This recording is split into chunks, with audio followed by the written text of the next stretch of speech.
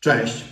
E, W ostatnim czasie dostaję dużo zapytań, na co zwrócić uwagę e, przy wyborze biura nieruchomości. Postanowiłem w tym krótkim filmie odpowiedzieć o kilku kluczowych dla mnie aspektach. Jest to bardzo subiektywne i dla każdego inne wartości będą istotne, więc tutaj najważniejsze pytanie to jest takie, czy spełnia moje oczekiwania e, dane biuro, a jeśli chodzi o moją osobę, to e, podam Wam kilka takich e, rzeczy, które z mojego doświadczenia dzisiaj osoby, jaka, która prowadzi biuro nieruchomości, a jeszcze niedawno, stosunkowo niedawno osoby, która do tej branży e, wchodziła całkowicie zielona, jeżeli chodzi o materię nieruchomości. Miałem doświadczenie w handlu 20-letnie, ale na nieruchomościach się nie znałem i tu kluczowym czynnikiem było wdrożenie. To co biuro oferowało na samym początku? Czy było wsparcie, e, opieka jakiegoś mentora, e, osoby, która jakoś technicznie się w tym biurze opiekuje tymi, e, tymi osobami, które dopiero wchodzą do branży, czy był może jakiś pakiet szkoleń, na którym to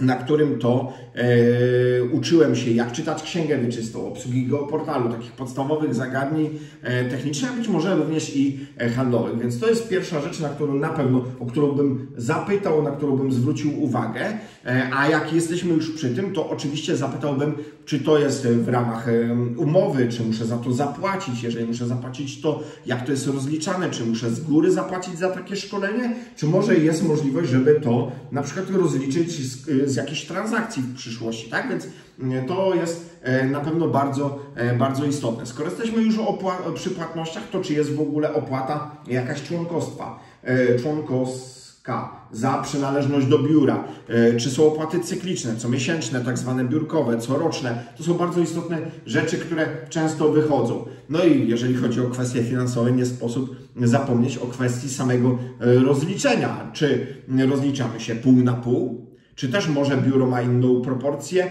e, i jeżeli tak, to jaką? Czy są jakieś progi, które muszę zrobić? Czy jest to opłata? e, Czy jest to e, podział stały? Więc to są bardzo istotne kwestie. Jeżeli dzielimy już wynagrodzenie, no to musimy na pewno zapytać o to, jakie mamy obowiązki i jakie wartości daje nam biuro. E, Czy biuro pomaga nam w pozyskiwaniu e, tak zwanych leadów, kontaktów, czy, e, czy dostaniemy z biura jakiś, jakiegoś klienta, czy musimy wszystkich pozyskać sami. A jeżeli pozyskamy, to czy ciężar odpowiedzialności za wyprodukowanie oferty, przygotowanie tej oferty jest po naszej stronie, czy biuro nas w tym wspiera. E, Najkrócej mówiąc, czy dostaniemy asystentkę, copywritera, fotografa i tak dalej, osoby, które są z takiego back office'u, m, które nam pomogą w przygotowaniu tej oferty, czy jednak to my sami musimy em, przygotować to ogłoszenie, czyli musimy sami zrobić zdjęcia, em, poszukać kogoś, kto nakręci nam, nie wiem, działkę z drona albo z, zrobić jakieś zrzuty z geoportalu. Sami musimy to wszystko opisać, skleić i wrzucić na portale tam e, prawdopodobnie przez CRM-a, więc to są rzeczy, e, które są bardzo istotne i one mocno będą wpływać na jakość naszej pracy i koszta tej pracy. Więc to są rzeczy, które musimy ustalić już na początku e, i, i mieć jasność.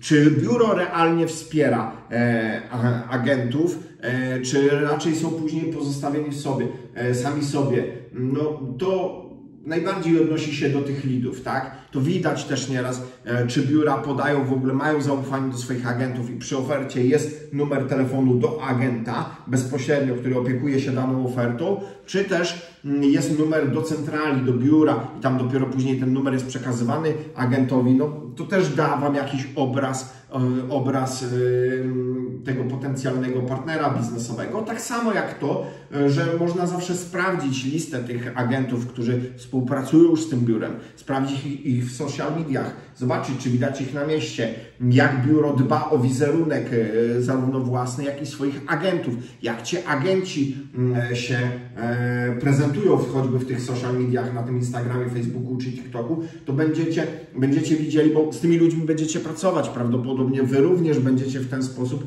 postrzegani, jak dzisiaj e, jak dzisiaj ich e, po, postrzegacie. Także to są takie mm, podstawowe rzeczy. Można byłoby iść dalej jeszcze i zapytać, jaki jest system pracy w takim biurze.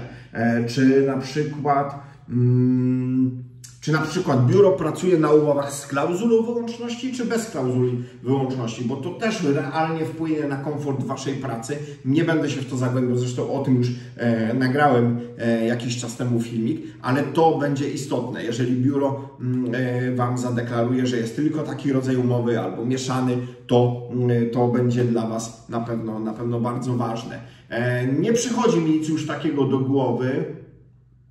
Mm, Myślę, że to tyle. E, Żeby nie przedłużać, jeżeli macie jakieś inne pytania, e, chcielibyście coś doprecyzować, będę mógł jakoś pomóc, piszcie w komentarzach pod tym filmem, e, a ja zapraszam Was do kontaktu i wszystkiego dobrego, najlepszych wyborów Wam życzę.